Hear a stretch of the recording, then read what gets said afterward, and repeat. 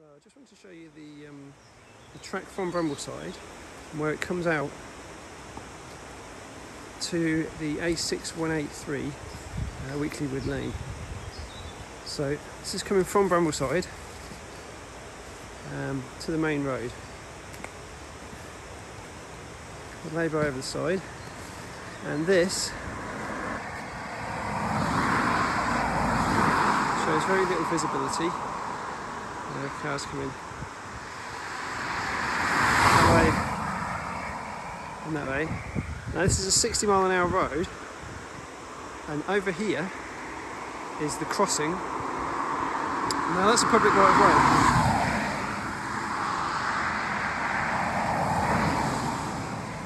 What we're stood on here is a public right of way um, across the road. There's a lay-by here and there's a lay-by over the road there as well. Uh, there's no divider between the 60 mile an hour road and the lay-bys. And this is then into Weekley Hall Woods and that's the uh, public right of way. So yeah, this is regularly used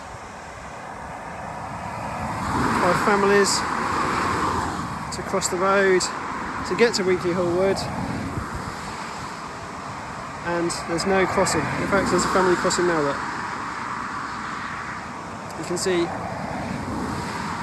exactly how dodgy this crossing is.